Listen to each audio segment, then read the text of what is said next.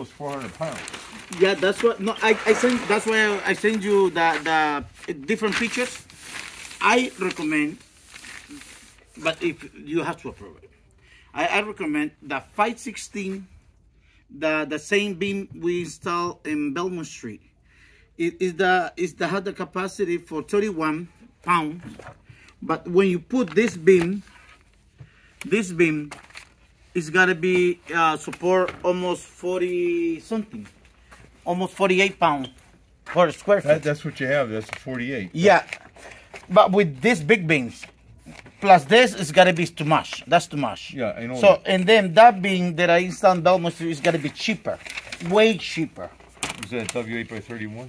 Y- uh that's a 516 that's 4 by yes I have a pen.